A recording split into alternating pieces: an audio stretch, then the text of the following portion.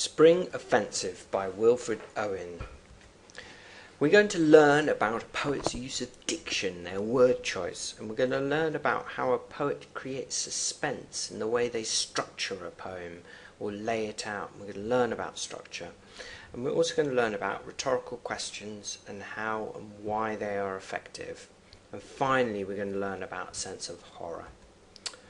Um, this is the last poem Owen ever wrote. Um, he finished it just before he died, before he was shot in battle. Um, and he probably knew it was going to be the last poem he ever wrote, so that is important. Take a look at the other contexts on um, the slide. Uh, you can pause that. What I would like you to do by yourselves is either read through in your head the actual poem. Um, you can pause the screen or um, read it to the person sitting next to you. It's important that you have a go at it before you listen to my explanation. So these are the um, verses of the poem. I'm going to read it through now with you. Halted against the shade of a last hill, they fed and lying easy were at ease, and finding comfortable chests and knees, carelessly slept. But many there stood still to face the stark, blank sky beyond the ridge, knowing their feet had come to the end of the world. So here I've got a picture um, which illustrates um, a group of men in a similar position coming to the edge of a ridge, um, about to um, go to the end of the world. In other words, enter the battle and look at the blank sky in the picture, which is a, a quote in the poem as well. Um, and they carelessly slept. So this indicates these soldiers are um, very tired. So they've been up all night um, working, sorting out for the offensive. Marvelling they stood, and watched the long grass swirled by the May breeze, murmurous with wasp and midge, for though the summer oozed into their veins like the injected drug for their bones' pains, sharp on their souls hung the imminent line of grass, fearfully flashed the sky's mysterious glass. So they are amazed by the beautiful May day, and the imagery um, suggests this. The summer oozed into their veins like an, the injected drug. Um, so it's like opium, it's like heroin going into them. They feel the beauty of nature here. This is a recurrent theme in uh, Owen's poetry the beauty of nature, but the horror of man made things. And then suddenly, they have an imminent line of grass. Um, this imminent means uh, it's about to happen, something is uh, going to happen. In other words, a battle is going to happen. And um, fearfully flash the sky's mysterious glass, so we get a sense of perhaps a flashing um, of um, glasses, refracted glasses um, across the battlefield, but also um, the glass of the sky. Um, the sky looks glassy. Hour after hour they ponder the warm field and the far valley behind, where the buttercups have blessed with gold their slow boots coming up, where even the little brambles would not yield, but clutched and clung to them like sorrowing hands. They breathe like trees unstirred. Again, more beautiful pastoral imagery. Pastoral imagery is to do with the countryside, and the picture here uh, a picture of buttercups, kind of well summarizing the imagery that's actually in the poem. Um, even the brambles, they cling to them like sorrowing hands, so that nature is like this kind of um, sorrowful for what's going to happen to these soldiers. Um, they breathe like trees unstirred. They're very, very still, like trees, but they're breathing, they're alive. Till, like a cold gust, thrilled the little word, at which each body and its soul begird and tighten them for battle. No alarms or bugles, no high flags, no clamorous haste, only a lift and flare of eyes that faced the sun, like a friend with whom their love is done. Oh, larger shone that smile against the sun, mightier than whose bounty these have spurned. So there's no bugle into battle, and this is um, no high flags, no clamorous haste, that clamorous shouting haste uh, speed. So there's no kind of great speed. There's just the flicker of eyes, the flare of eyes that they know that their love is done. In other words, they're going to their deaths. Um, larger shone that smile against the sun. Um, so the um, smile uh, of the soldiers saying goodbye to each other is, is a huge goodbye. These are soldiers that are great friends. They've formed a real bond, mightier than whose bounties these have spurned.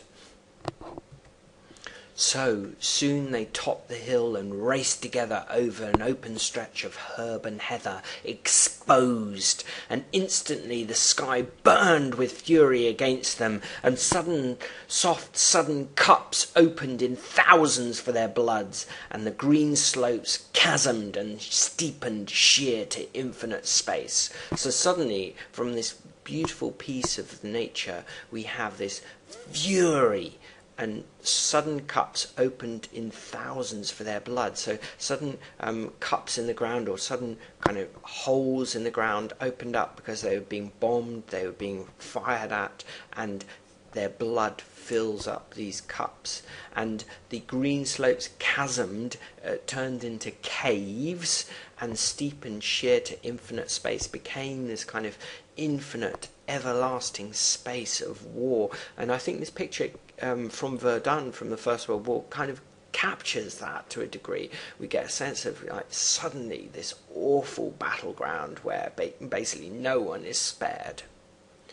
Of them who running on that last high place leapt to swift unseen bullets, or went up on the hot blast and fury of hell's upsurge, or plunged and fell away past the world's verge. Some say God caught them even before they fell. So, in other words, um, this long sentence um, really shows that they were dead before they even fell to the ground. Um, the hot blast and fury of hell's upsurge. An upsurge is uh, a great going up or a great kind of welling up of something.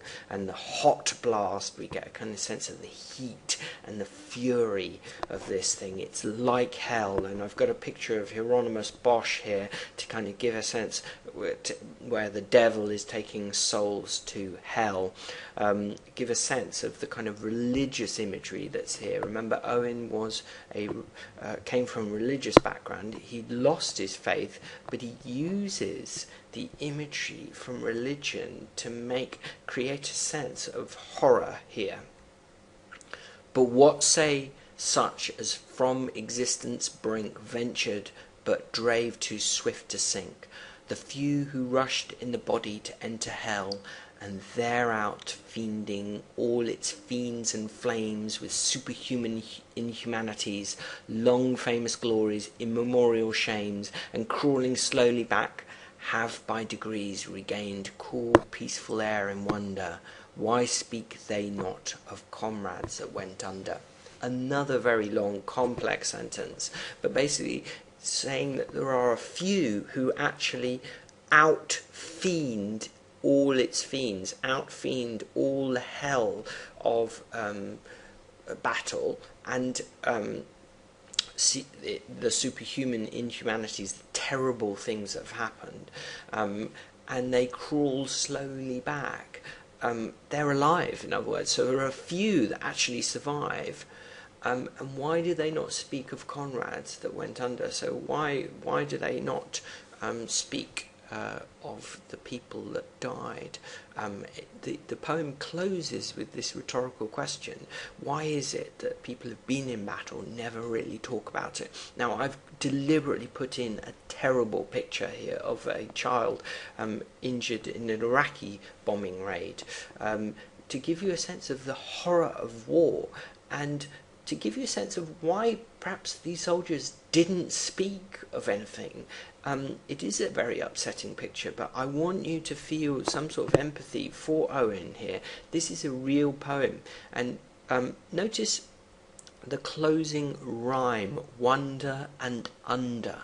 Um, they're gazing in wonder they're alive, you know, and you know, perhaps it is a wonder that this little boy here is alive and why not speak they of those that went under? Um, you know, why do why do these people, survivors, not talk about it? Because it is too too terrible to think about. And so, the poem closes with this. We don't know that actually this is the real ending of it. Owen was shot um, before we kind of got a sense of whether this was the ending.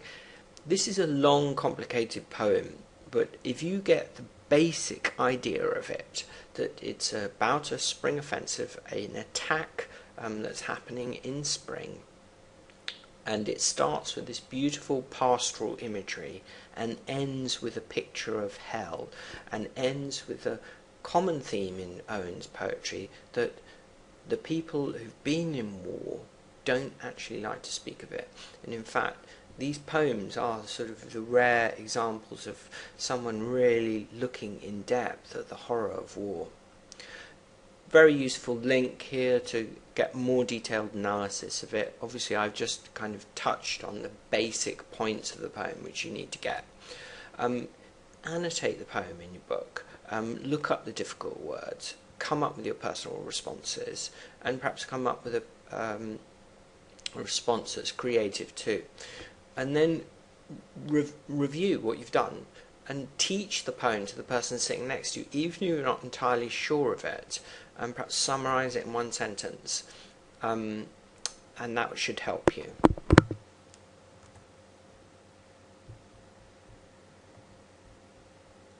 We've got to look at the learning objectives, and we, I told you I'd look at structure.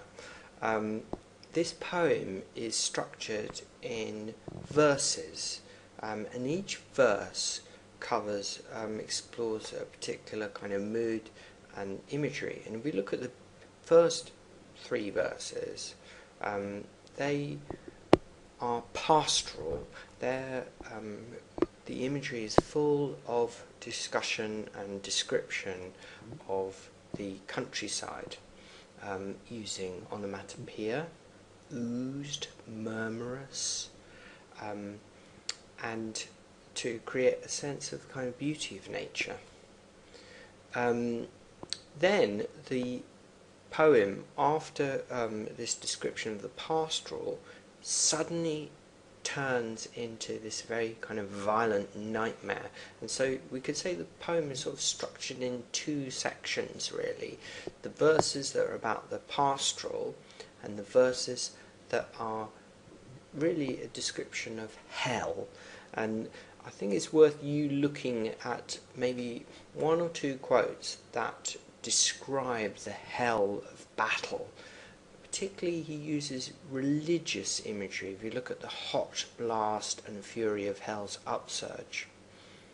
And then um, he closes with a rhetorical question uh, a question that doesn't really need an answer.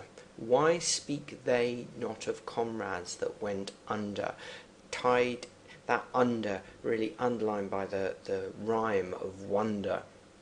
This rhetorical question is very powerful because we realize, having read the poem, that they don't talk about um, what they've seen because it was so horrible.